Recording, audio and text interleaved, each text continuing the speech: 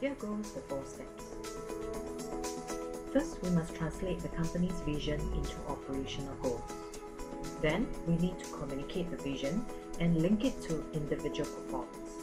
Next comes business planning and objective setting, followed by gathering of feedback and learning from the process so that we can adjust the strategies accordingly.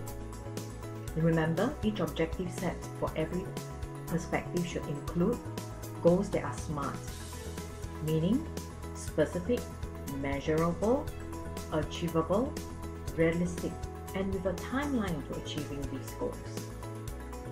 Measure and track only one or two things and measure it regularly so that we can determine how it is performing. Thank you. Hope you have a good time.